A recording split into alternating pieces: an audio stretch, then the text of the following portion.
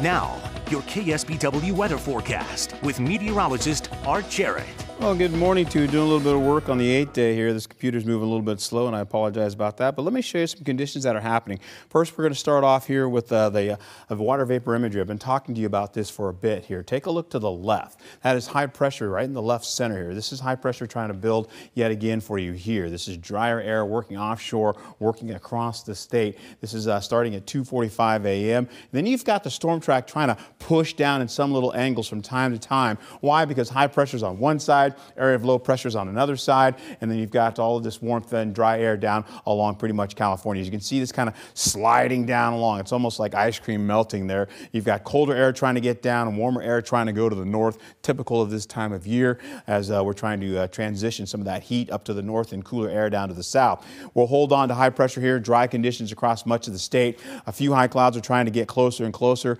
That'll get into the evening hours, possibly the overnight hours, taking us to mostly clear skies. We'll have fog and low cloud activity along the coastline. And uh, as we go through the morning hours, we'll lose the fog on the inland side, get back into sunnier skies. There are a few high clouds drifting by there. As we go to Tuesday into Wednesday, we'll pick up some more partly cloudy conditions for Wednesday with more high clouds coming in. By Thursday, rainfall starts to move down along the coastline. You see it on the inland side. This is where most of it's going to be uh, Mendocino County getting into Sonoma County and then along the coastline here. We may pick up maybe a mist, a bit of mist and some drizzle out uh, along the coastline, but that's about it. We've got the offshore winds coming in today, and that will continue to push down along the coastline. A little bit breezier coming down the Big Sur coast with some offshore winds coming up for the higher elevated areas down to the, the low-lying coast. And then by Wednesday and Thursday, we get clouds coming in, sweeping over us. Will take us to partly cloudy skies. By Thursday, we'll begin to lose some of those clouds, and then we'll get to sunnier skies on Friday. Your temperatures across the board, you're looking at 60s by the bay uh, along the coastline as well. Moving into the interior portions now, you start to see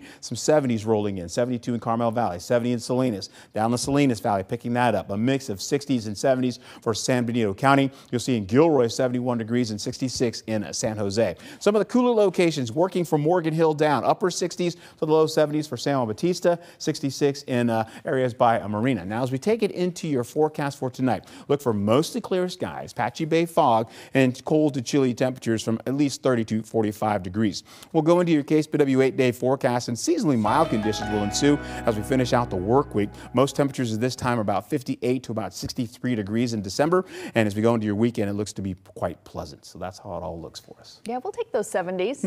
all right, all right, thanks. Okay.